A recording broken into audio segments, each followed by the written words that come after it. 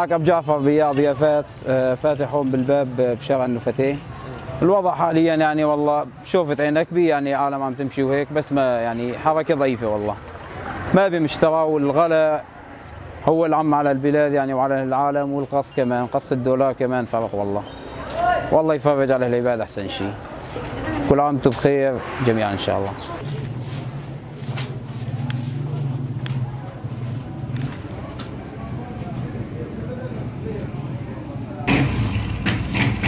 السلام عليكم ورحمة الله وبركاته. آه، معكم فهد عربو من أزياء بروس نلبس الرجالين مدينة الباب.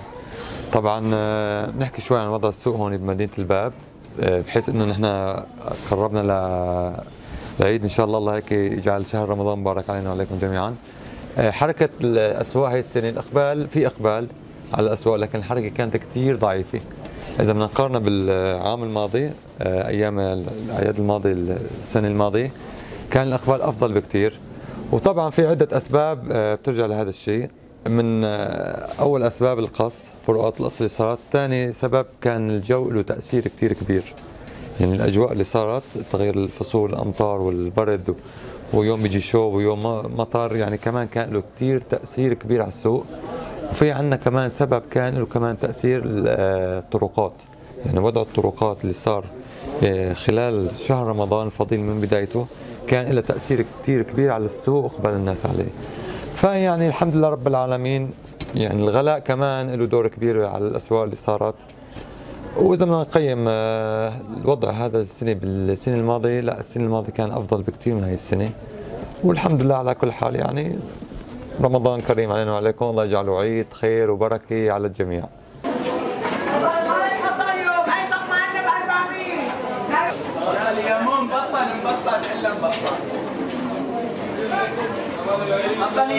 السلام عليكم ورحمة الله وبركاته. أخوكم أبو الخير السفراني مهجر من مدينة سفيري. آه الحمد لله رب العالمين. آه نحن مدينة الباب. آه سوق النفتي ما شاء الله الحركة كويسة بس لكن آه أسعار غالية. آه الناس ما عم تعرف تشتري آه، صيفي شتوي يعني الجو سبحانه وتعالى متقلب. آه ولكن والله كمان في غلب الأسعار. الحمد لله على كل حال. عجب بالقص عجب غلات الدولار عجب غلات البضاعة من من يعني من مكاناتها ما بنعرف.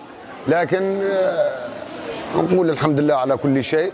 والله واليوم نفتقد أكثر شيء يعني نحن بهذا العيد يعني مفتقدين بلدنا. الحبيب سفير المنكوبه والله يرجع كل حر وكل مهجر.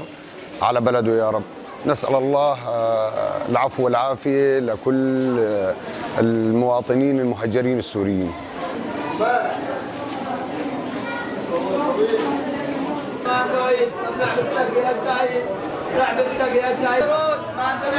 سعيد